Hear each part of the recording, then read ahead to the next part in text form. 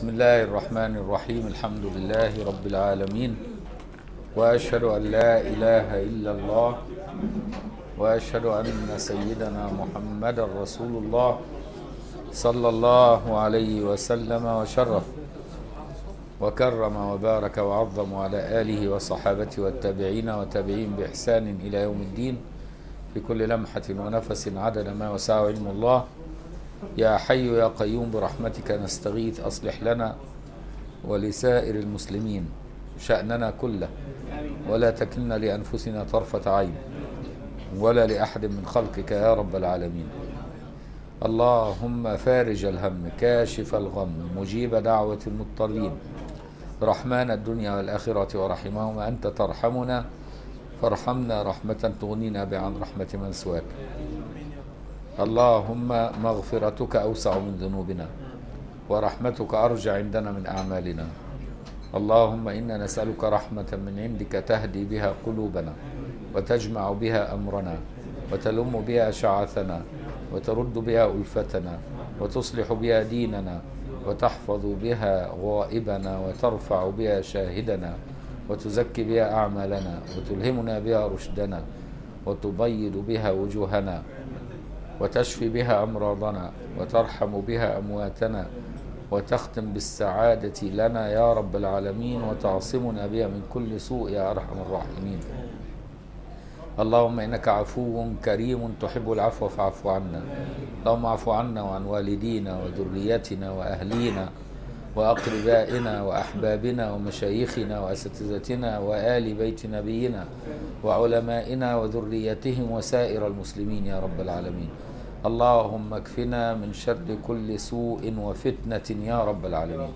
واهدنا لما اختلف فيه من الحق بإذنك إنك تهدي من تشاء إلى صراط مستقيم.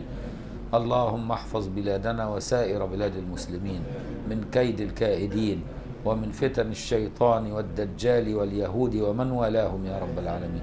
برحمتك يا أرحم الراحمين. ألف بين قلوب عبادك المؤمنين.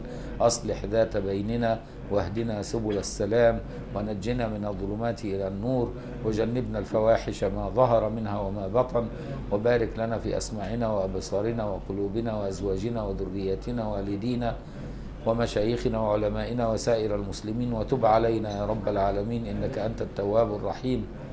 نسألك الفوز عند القضاء ومنازل الشهداء وعيش السعداء ومرافقة الأنبياء والنصر على الأعداء. وصل اللهم وسلم وبارك على سيدنا محمد وعلى آله أما بعد. نكمل قراءة كتاب بهجة النفوس وتحليها بمعرفة ما لها وما عليها. شرح مختصر صحيح البخاري المسمى جمع النهاية في بدء الخير والغاية للإمام الحافظ المحدث الورع أبي محمد عبد الله بن أبي جمرة الأزدي الأندلسي المتوفى سنة 99 و600 من الهجرة النبوية الشريفة رحمه الله تعالى ونفعنا الله بعلومه وعلوم مشايخه وتلامذته وقراء مصنفاته وشرحها في الدارين آمين. بالأمس بدأنا في الحديث الرابع والسبعين حديث الأمر بالصدقة على كل مسلم المروي بإسنادنا إلى صحيح الإمام إلى الإمام البخاري في صحيحه عنه بإسناده عن أبي بردة عن أبيه رضي الله عنهما. أن النبي صلى الله عليه وسلم قال على كل مسلم صدقة. فقالوا يا نبي الله فمن لم يجد؟ فقال يعمل بيده فينفع نفسه ويتصدق. قالوا فإن لم يجد؟ قال يعين ذا الحاجة الملهوف. قالوا فإن لم يجد؟ قال فليعمل بالمعروف وليمسك عن الشر فإنها له صدقة. وقفنا على قوله قالوا فمن لم يجد؟ يؤخذ منه تنويع البحث على العالم. إذا دعت لذلك ضرورة ويؤخذ منه استنباط المسائل الممكنة الوقوع وإن لم تقع بعد وأن هذا من الدين وصاحبه مثاب. لأن النبي لما قال على كل مسلم صدقة فإيه؟ فسأله. قال له افرض لم يجد. كويس فكأنه هنا بيستنبط حاجة من وراء النص. فكل ده يدلك على والنبي أقره وأجاب. فقال يعمل بيده فينفع نفسه ويتصدق. فقام استنبطه منها تاني. قال له طب لو لم يجد كمان فإن لم يجد كمان إنه يعمل. يعني هو ليس عنده مال يتصدق. وليس عنده صنعة يعملها ويتصدق من خلال ما يكسبه سواء على نفسه أو على غيره. نعمل إيه؟ قال يعين ذا الحاجة الملهوف. قالوا طب افرض ما عندوش قدرة على الإعانة فإن لم يجد. فالرسول صلى الله عليه وسلم قال فليعمل بالمعروف.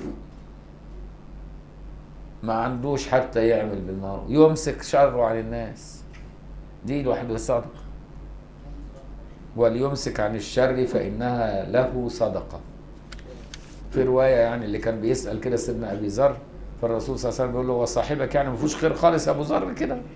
كل واحد يقول له معهوش معهوش معهوش معهوش فالرسول صلى الله عليه وسلم قال له إيه يمسك شره خلاص كفاية. دي في حد ذاتها ربنا يكفينا شره. واخد بالك؟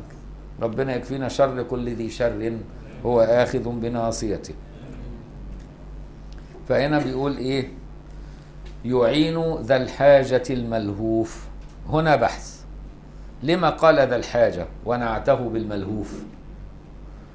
وكل من أعان في حاجة مسلم فهو مأجور. أنت لا أي مسلم لو عنده حاجة أنت تعينه تاخد أجر. طب اشمعنى بقى الملهوف هنا؟ زود يعني.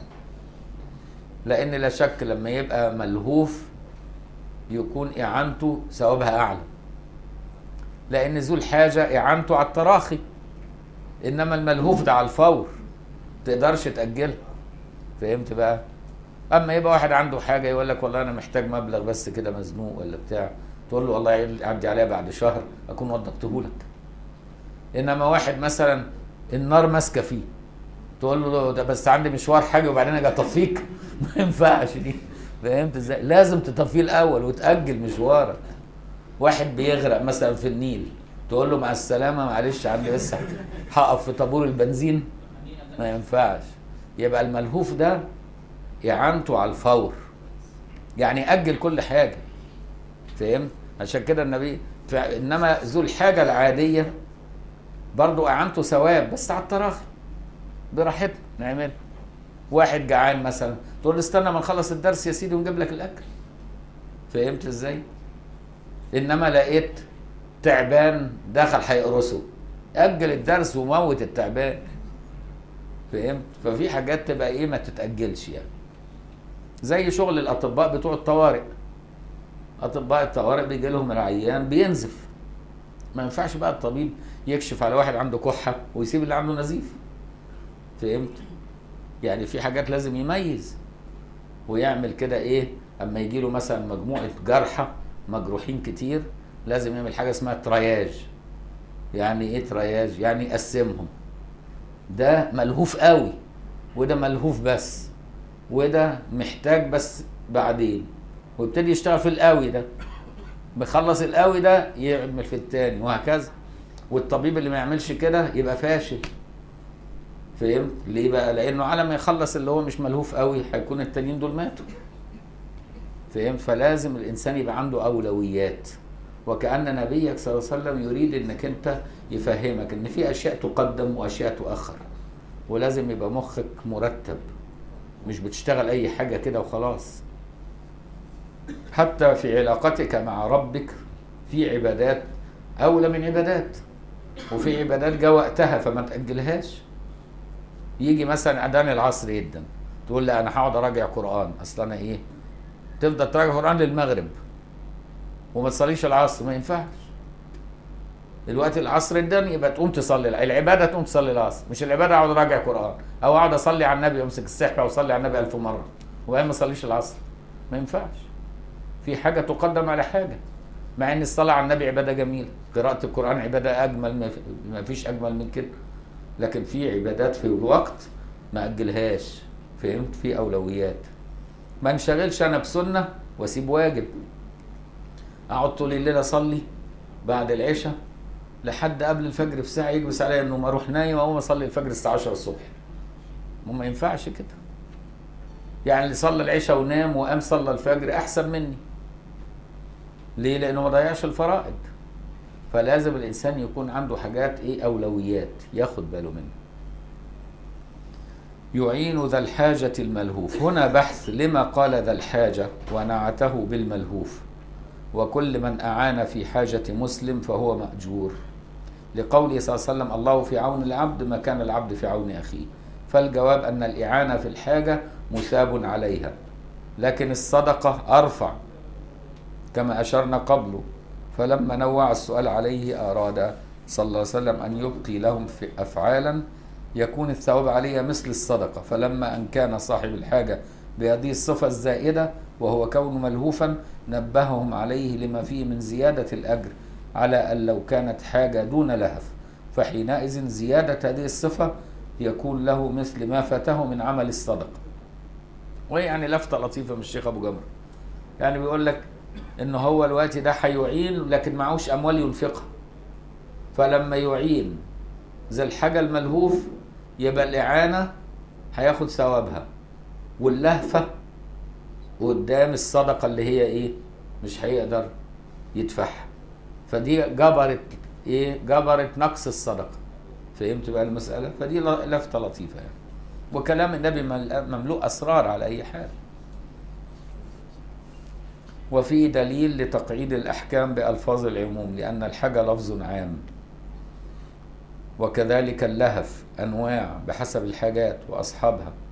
والملهوف كناية عن الحائر في حاجته القليل القدرة على القيام بها فهو شبه المضطر وقد يكون آكد منه لأن المضطر قد ألف الصبر وأيقن بعجزه وهذا متلهف من جانب إلى جانب ومن وجه إلى وجه وقد حار في نفسه ولا يعرف من أين يكون له الفرج ولا ضرورته تعطيه القعود والاستسلام مثاله من عليه دين وقد حان وقته وهو ليس له شيء وهو لا يقدر أن يثبت عدمه. وصاحب الدين لا يفتره ولا يعذره فالقعود لا يمكنه والخلاص لا يقدر عليه ووجه الرشاد إلى راحته لا يعرفها فحاجته أشد من المضطر لأن المضطر قد يفوض الأمر كله إلى الله ويصبر على ما نزل به حتى يأتيه فرج الله والإعانة هنا بماذا تكون؟ هل تكون بالموجود أو بالإرشاد؟ إحنا عشان أطباء عارفين ذا الحاجة الملهوف يعني بنشوفه كل يوم. أطباء. سيدنا أبو جمره مش طبيب. فقعد يجيب لك أمثلة بقى واحد عليه الإيجار ومش عارف يروح بيته فيبقى ملهوف. دي أمثلة بسيطة بالنسبة للي بنشوفه إحنا في المرضى. المرضى يجي لك العيان مثلا عنده احتباس في البول. عينه هتطلع عايز يتبول يقوم يجي دكتور المسالك يروح مركب له قسطرة بول يستريح. ياخد ثواب كبير جدا. يعني مهنة الطب دي فعلا ربنا كرمنا فيها. إن فيها إعانة لذي الحاجة الملهوف. بالذات مهنة الجراحين. وأطباء النساء والتوليد بتبقى الست بتولد والعيل محشور فيها. روحين بقى هي تموت والواد يموت. اللي في بطنها. يروح داخل ما شاء الله إيه يدي يعمل لها قيصرية يطلع روح من روح ودي تعيش وده يعيش وكله تمام التمام.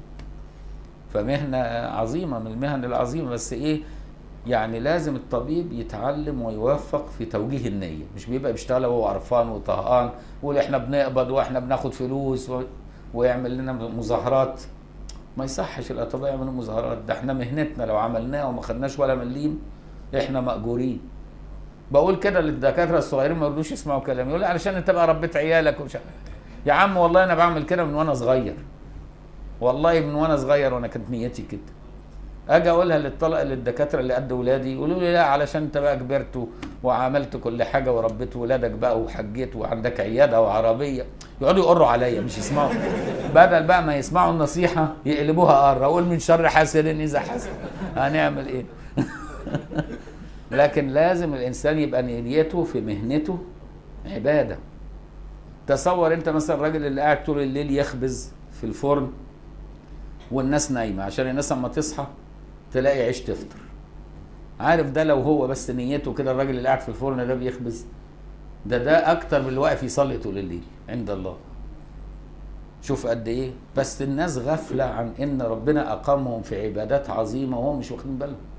الراجل اللي بيكنس الشارع ده ده من الإيمان. اماطه الأذى من الإيمان؟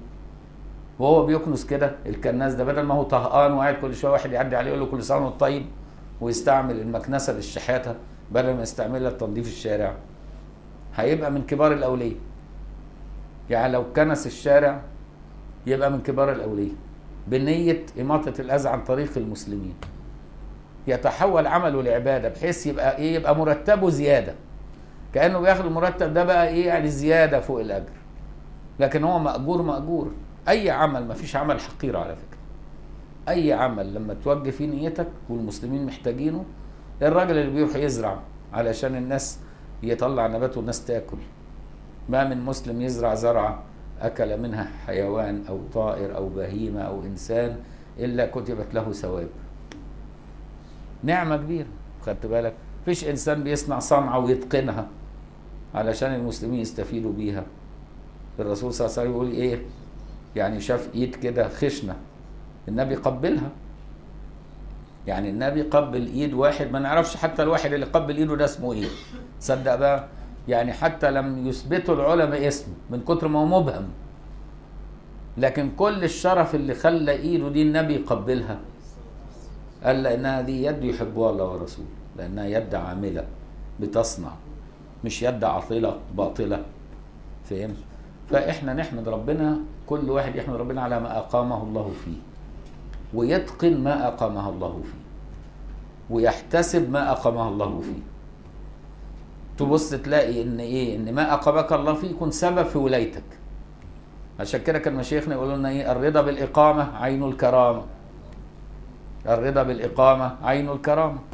فشوف أنت ربنا أقامك في إيه وارضى واتقن واستعمل هذه الإقامة بالنية عبادة لخدمة نفسك ولخدمة المسلمين. هتجد نفسك في الآخر في أمان الله. الراجل اللي بيسوق القطر اللي بيسوق المترو بيوصل الناس لأداء مصالحهم واللي بيسوق الميكروباص من هنا مش عارف لفين ويوصل الناس ويوصل لناس معيشهم ويقضي بياخد أجر اللي بيوصلهم.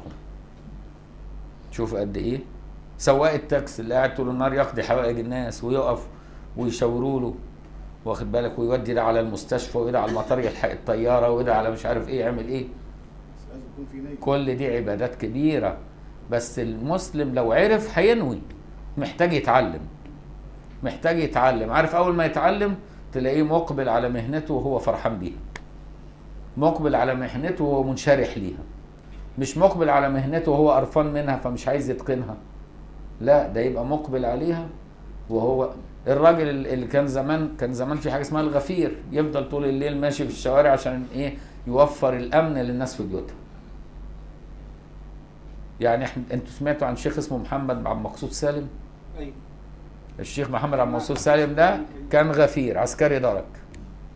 كان عسكري درك يسهر طول الليل يحرس بالليل يسموه عسكري درك.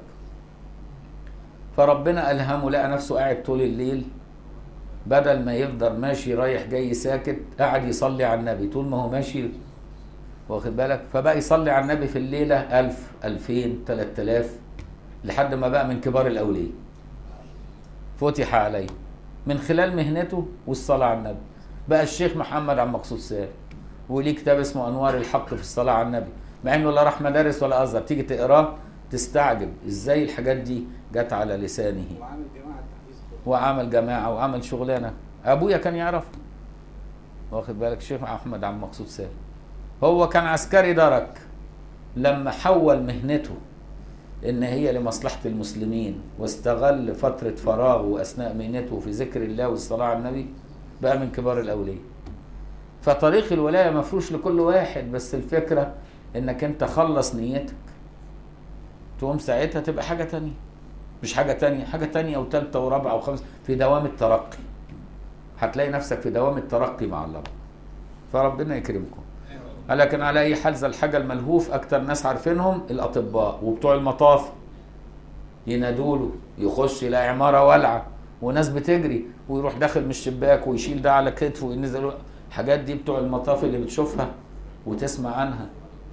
والبوليس النجده لما تيجي تتصل بيه علشان مش عارف فيه حرامي بيهجم على البيت ولا بتاع ويجي لك بسرعة وينقذك ضابط البوليس والعسكري والحاجات دي والشرطة. كل دول بيعينوا ذا الحاجة الملهوف. مهن كتيرة مهن كتيرة فيها هذه المعاني. فنسأل الله سبحانه وتعالى إن هو يلهمنا النية علشان يقول لك الإنسان الموفق هو الذي يرزق النية. ونية المرء خير من عمله.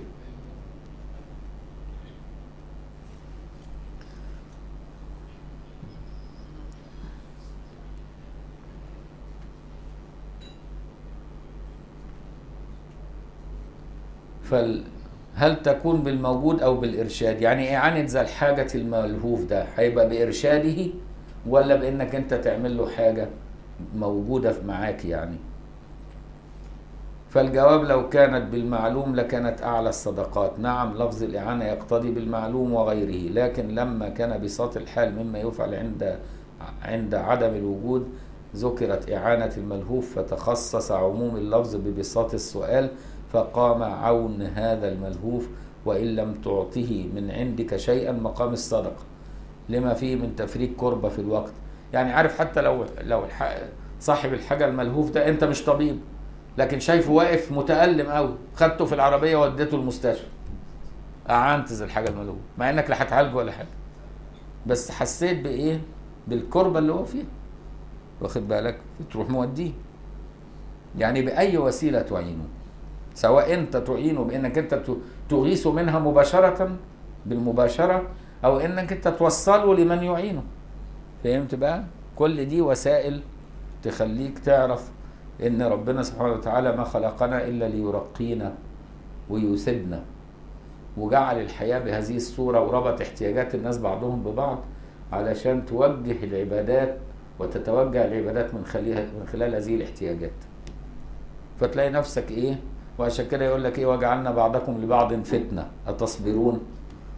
فلو ما وجهتش نيتك هتبقى إيه؟ فتنة تحجبك. ولو وجهت نيتك بقت فتنة توصلك. وعشان كده قالوا إيه؟ علماء التصوف العلماء الكبار يقول لك ال الخلق هم الحجاب وهم المدخل. هم الحجاب وهم المدخل. يعني لو تعاملت معهم بما لا يوافق الشرع كانوا حجابا لك عن الوصول إلى رضا الله. وإن تعاملت معهم على وفق مراد الله كانوا هم سبب دخولك إلى حضرة مولاك فهم الحجاب وهم المدخل.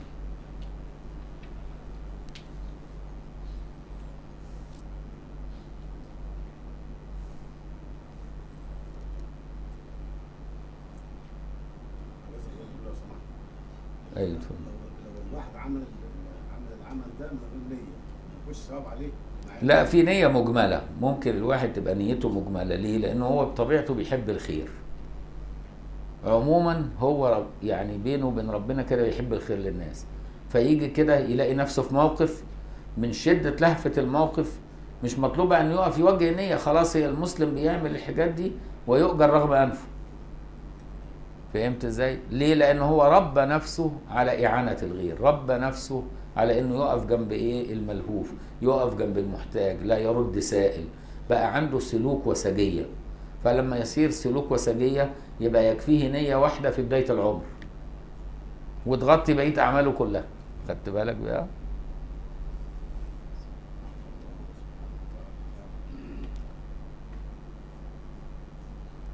لأن الثواب على الصدقة إنما يدخل على أخذها من راحة نفسه ولذلك كانت أكثرها ثوابا إذا كان الآخذ أكثر احتياجا. وإذا قلت ضرب مثل ضرب مثل لهذا الملهوف أنا أدلك على وجه يكون لك فيه راحة فقد أدخلت عليه من السرور في الوقت أكثر مما يدخل على صاحب الصدقة إذا لم يكن أخذها مثل هذا.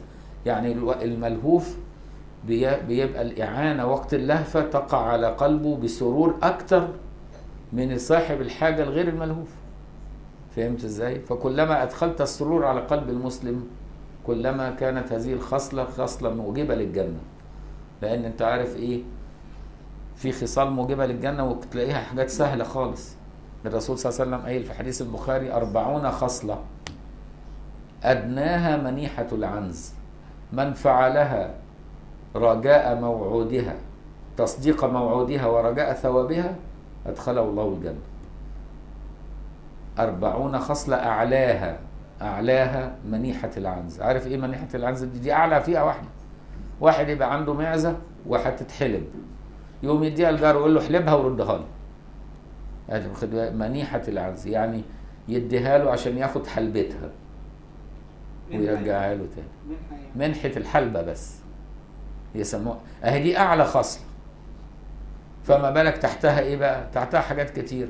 عارف اما تبقى مسافر كده وأنت قاعد بتربط الشنط بتاعك واحد جنبك شنطته اتفرطت فبيقول لك معكش حبل. تروح أنت فاكك الحبل بتاعك وتدي له نص. أهي دي خصلة توجب الجنة. حاجة بسيطة أهي. واخد بالك؟ تقول له لا ما يجراش حاجة ولا يهمكش. تروح أنت إيه الحبل بتاعك أنت كنت عامله؟ كذا مجوز. تقول له لا نخليه فرد واحد. وادي لك نص خد وتربط معاه. خدت بالك؟ أو واحد مثلا وهو ماشي راجل تعبان ومش قادر يرفع رجله ترخ- تاخد كده بإيده كده وتطلعه الرصيف. أو تركبه السيارة أو تعديه الطريق. كل دي خصال موجبة للجنة. إدخال السرور على قلب المسلم من الخصال الموجبة للجنة. تبسمك في وجه أخيك خصله من الخصال الموجبة للجنة. فخصال الموجبة للجنة حاجات بسيطة. في كتاب اسمه تمام المنة في بيان الخصال الموجبة للجنة للسيد عبد الله الصديق الغماري شيخي. يعني المفروض تحرص إنك تجيب مثل هذا الكتاب. هتشوف تلاقي حاجات لا تخطر على بالك وتفتكرها بسيطة لكن تجدها عند الله عظيمة. وانت مش واخد بالك إنها بسيطة. يعني الفق... المقصود إن الجنة ربنا جعلها ميسرة خالص. بس إحنا نعرف إزاي نتعامل مع الله. فكتاب تمام المنة ببيان الخصال الموجبة للجنة كتاب لطيف تحصل عليه. هجيب لك 48 خصلة وكلها خصال مش محتاجة أي تكاليف. يعني ولا هتطلع هتحط إيدك في جيبك أيها البخيل. لو كنت بخيلا لا تحب الصدق. كلها حاجات سهلة.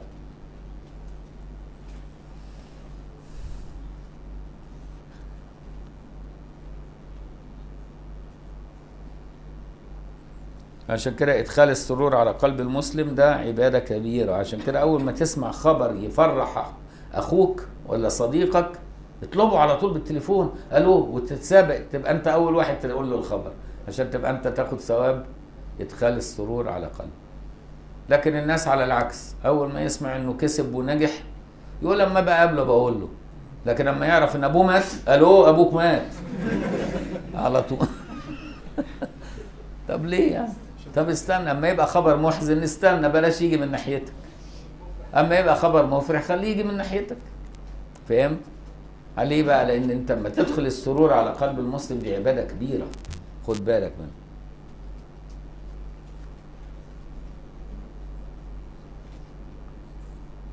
مثل هذا وقوله في قالوا فإن لم يجد. هنا بحث كما تقدم قبل.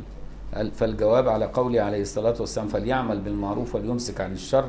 فإنها له صدقة. وهو كيف يقوم عمل واجب عن تطوع. فإن العمل بالمعروف والإمساك عن الشر مما هو واجب شرعا. والصدقة كما قدمنا في هذا الموضع مندوبة. فالجواب الأمر بالصدقة لا يلزم منه ترك الشيء والعمل بالمعروف إنما يلزم ذلك من قواعد الشريعة كما يندب مع الصدقة وعدمها. بمقتضى القواعد الشرعية إهانة إعانة الملهوف والندب إلى التكسب الحلال لينفع نفسه ويتصدق. وكما قال في حديث آخر حين ذكر الصدقة ثم قال فمن لم يجد إن ركعتي الضحى تجزئ عنها. وركعتي الضحى مندوب إليها مع وجود الصدقة وعدمها. فمفهوم الحديث على هذه التنويعات أنه صلى الله عليه وسلم ندب أولا إلى الصدقة لما فيها من الخير المتعدي. فعند العجز عنها ندب أيضا لما يقرب منها أو يقوم مقامها لما فيها أيضا من الخير المتعدي.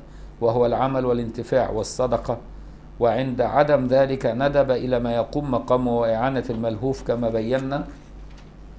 ثم عند عدم ذلك كأنه عليه السلام يقول بعد عدم هذه المذكورات ليس في أفعال البر ما يشبهها لكن من فعل شيئا من المعروف والمعروف هنا ما هو مندوب إليه شرعا من جميع المندوبات. ولو حتى هداية الحيران. عارف هداية الحيران من الخصال الموجبة للجنة. يعني واحد إيه يبقى نازل البلد وغريب عن البلد ومعاه ورقة فيها العنوان يقابلك في الشارع. يقول لك اقرأ لي العنوان ده. أروح إزاي؟ تقوم تقرأ العنوان تقول له آه تنزل ميدان السيدة عائشة تاخد الميكروباص اللي رايح الحتة الفلانية تنزل في الحتة الفلانية تلاقي الشارع الفلاني توصل. ما خدتش منك حاجة. هي دي خصال موجبة للجنة. هداية الحيران. واخد بالك؟ يعني إنك تقول له بس العنوان. فكل دي حاجات عظيمة. فهو ده ده ده اهو ده أمر مندوب مش واجب عليك على فكرة كده لأن أنت ممكن تقراها كده مش واجب حتى تقول له حاجة قول له اسأل غيري. هو مفيش غيري يعني. آه تبقى غلاسة منك لكنها مش لا تأسم ليه؟ لأن أنت مش في صحراء. في ناس كتير غيرك. افرض إن أنت مستعجل. أو مثلا ما بتعرفش تقرأ. تيجي تقول له ما بعرفش أقرأ. يقول لك وبدلة وكرافته وعمل مش عارف إيه. وتقول لي وفي الآخر مش عارف تقرأ. قول له خلاص يا سيدي خد الكرافته البسها والبدلة واقرأ أنت. ما هو في ناس شكلها يغر تفتكر من كبار العلماء. وهو تلاقيه ما بيعرفش يقرأ مسكين. لكن على أي حال هداية الحيران والحاجات البسيطة دي دي دي من النعم الحاجات تلاقيها في بلاد المسلمين موجودة. تعرف في اوروبا ما تعرفش ما تلاقيش الحاجات دي. ليه؟ لا ما تربوش عليها. ما تربوش على الحكاية دي.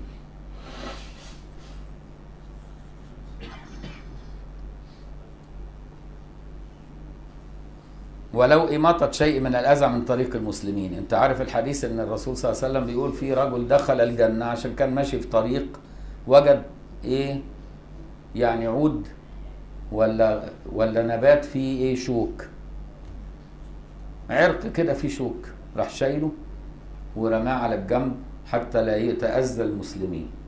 فقام ربنا غفر له ودخله الجنة عشان الحكاية دي. ما نعرفش بقى هو كان بيصلي ولا ما بيصليش ولا حج ولا ما نعرف لكن ربنا دخله الجنة عشان الحكاية دي. حاجة بسيطة إماطة الأذى عن الطريق. يبقى اللي بيعمل الأذى في الطريق يبقى إيه بقى؟ بمفهوم المخالفة. يدخل النار ربنا ينجيه ويغفر له ويرحمه ويبصره. ولو ركعت الضحى فمعناه أن ألا تخلي نفسك من فعل مندوب من المندوبات وإن قل فإنه في الكل منه فيه صدقة بمعنى فيه أجر. وإن لم تقدر على فعل شيء من المندوبات فإمساكك عن الشر.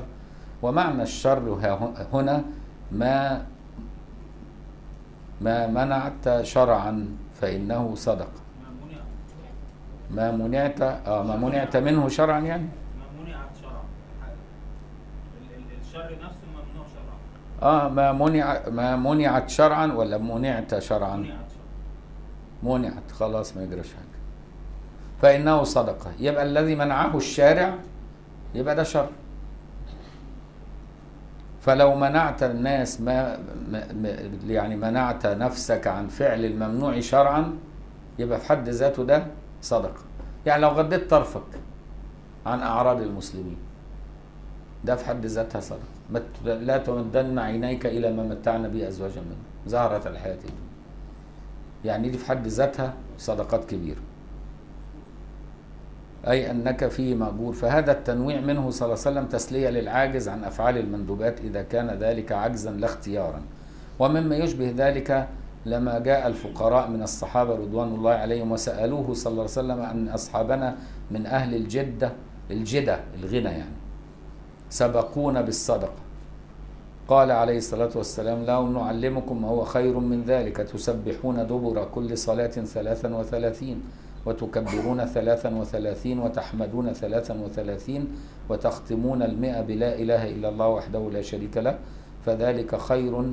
فلما بلغت الأغنياء فعلوا كفعلهم رجعوا يفعلونها فرجعوا إليه صلى الله عليه وسلم فأخبروه بذلك فقال لهم صلى الله عليه وسلم هو فضل الله يؤتيه من يشاء. وخد بالك إن في أحاديث تانية إن الفقير لو تمنى ما لو كان غنيا يفعل مثل الغني لاخذ ثواب كأنه خدنا قبل كده الحديث. واخد بالك؟ يعني أنت حتى لو معكش مال لكن أنت صادق بينك وبين نفسك. لو كان عندي مال يا رب أنا كنت هعمل مستشفى يتعالج فيها المرضى. ده أنا كنت هعمل مسجد الناس تصلي فيه. أنا كنت هعمل بنك طعام. أي حد جعان يجي في أي وقت ياكل ليل نهار ويبقوا طباخين وشغالين زي نظام التكاية بتاعت زمان. ويبقى إيه نفسه في يعمل حاجة زي دي. تعرف لما يقابل ربه وهو ما تمكنش بعملها ربنا يديله ثواب. لأن نية المرء خير من عمله. ويترتب على هذا من الفقه أن مطلوبون بجميع فرائض الدين ومندوباته وتطوعاته والشأن أن يقدم الفرد ثم الأعلى فالأعلى من جميع المندوبات. علشان تعرف لازم تعرف مراتب الأعمال. فتقدم الأعلى فإيه؟ فالأدنى بالتدريج كده. فما تنشغلش بال- بالأدنى قبل أن تؤدي الأعلى. ومن وسعه عمل, عمل الكل واللي يقدر يعمل الكل يبقى كويس. فنعم ما فعل. وإن فعل الأدنى من المندوبات مع القدرة على الأعلى فقد ترك ما هو المستحب. لكن لم يخل نفسه من الخير فإن لم يفعل من المندوبات شيئا فقد غبن نفسه غبنا كثيرا. فليجتنب الشر فإنه مأجور في ذلك. فإن لم يفعل ذهب عنه الدين, ولا علم عنده نسأل الله تعالى, نسأل الله تعالى العافية بمنه. وفيه رد على بعض الأصوليين الذين يقول إن الترك لا يؤجر عليه لأنه ليس بعمل. في بعض علماء الأصول قال إن الترك دون الكف مطلق الترك لا يأخذ ثواب عليه لما يترك. لكن لما يكف عن الشيء يعني عرض عليه فكف هو ده اللي يساب. يعني مثلا واحد ما خطرش في باله إنه يشرب الخمر ولا بيحبها ولا هي في بلده أصلا. فبعض الاصوليين قال لك ده لا يأخذ ثواب ترك الخمر. فهمت إزاي؟ لأن هي لم تخطر في باله ولم يقاوم نفسه ولم تعرض عليه أصلا. بخلاف اللي عرضت عليه ثم تركها خوفا من الله. فده يبقى ثوابه أعلى. فهم فالترك مطلق الترك ده في حد ذاته لا يثاب عليه. لكن أنا رأيي والله أعلم ورأيي برضو لقيت الحمد لله سيدنا أبي جمرة يوافقني فيه أن الترك حتى لو لم يخطر في باله يكون من باب الحفظ. كأن ربنا حفظه. فهمت إزاي؟ فيبقى هذا الحفظ في حد ذاته هيثاب. ليه؟ لأنه هو لم يفعل هذا فمجرد عدم الفعل ويقابل ربه كده محفوظ طاهر ده في حد ذاته هيبقى أعماله اللي يعملها ثوابها أعلى من الملوث. فهمت؟ وبالتالي يبقى يبقى فضل الله واسع يعني الخلاصة إن فضل الله واسع. لكن بعض الأصوليين إيه اتكلموا في القضية دي وبقوا فريق منهم يقول لك مطلق الترك بغير نية لا يثاب عليه لكن الكف هو الترك مع النية بقى. هو ده اللي يثاب عليه. بعض الاصوليين قالوا كده. وفيه رد على بعض الأصوليين الذين يقولون أن الترك لا يؤجر عليه لأنه ليس بعمل لقد أخطأوا الطريق وضلوا ضلالا بعيدا لكونهم أوجبوا الثواب بمجرد عقولهم وتركوا الكتاب والسنة. فأما الكتاب فقوله تعالى إن ينتهوا يغفر لهم ما قد سلف. والانتهاء هو ترك الشيء لا شك فيه.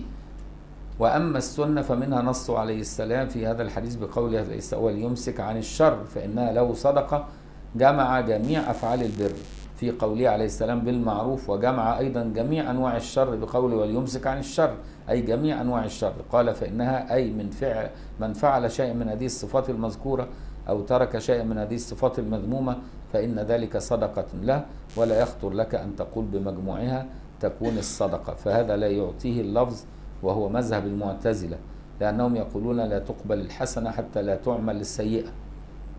وأهل السنة والجمهور على خلاف ذلك.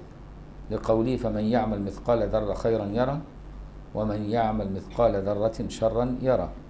وقوله عليه الصلاة والسلام في حديث غيره اتقي محارم الله تكن أعبد الناس. والآية والأحاديث في هذا كثير فسبحان من حرمهم طريق الرشاد. وهنا تنبيه وهو انظر إلى حكمة الشرع فإنه كيف جعلك في إدخال الراحة والسرور على نفس غيرك مأجورا إذا كان لله وإدخال الضرر أو التغيير عليها مأثوما ومعاقبا وفي إدخالك التشويش على نفسك والمجاهدة لها إذا كانت لله كنت مأجورا على ذلك. يعني لما تريح نفس غيرك تؤجر ولما تشوش نفسك وتخالفها تؤجر. يعني مع نفسك غير مع نفس الغير. مع الغير تريحه. طب ومع نفسك خالفه مش هتبقى من أهل العزائم فالمعاملة مع النفس تكون بالمخالفة. فهمت إزاي؟ عشان تبقى من أهل العزائم لكن مع الغير تريحه. فهمت هذه المسألة يعني. فأنت تدخل الراحة على نفس غيرك وأنت تأخذ نفسك بعزائم الأمور. عشان كده يؤثرون على أنفسهم ولو كان إيه؟ بهم خصاصة. قال الخضر لموسى عليه عليهما السلام وزعزع بالخوف قلبك فإن ذلك مما يرضي ربك. فانظر هل تعرف لذلك حكمة أو هو هل تعرف لذلك حكمة أم هو مما يلقى تعبدا أو امتثالا لا غير؟ قد تقدم الكلام في غير ما موضع أن الحكيم لا يفعل شيئا إلا عن حكمة والحكمة هنا خفية ظاهرة وهي والله أعلم لأن السرور إذا أدخلته على نفسك وإن ادعيت أنه لله فقلما يسلم من دسيسة النفس من أجل حظها وهو من باب سد الذريعة وهي قاعدة كلية في الشرع.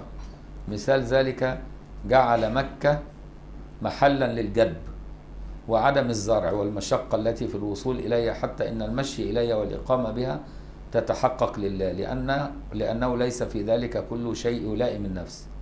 بخلاف أن لو كانت مثل دمشق في الفواكه والخضر قلما كانت العبادة تخلص فيها من أجل حظ النفوس في الخصب والفرج. يعني بيدي لك مثال ربنا خلى مكة وهي أحب البلاد إليه في واد غير ذي زرع. طريق كله صحراء وميته قليلة. عشان لما تبقى رايح مش رايح عشان إيه؟ فرحان بالطريق وتغير منظر. وفي فاكهة كتير ومناظر حلوة. يقوم يختلط رغبة النفس مع العبادة. لا ده يقوم يشلك كل حاجة للنفس حظ عشان تخلص العبادة لله سبحانه وتعالى. فبجيب مثال يعني بمكة اللي هي واد غير ذي زرع.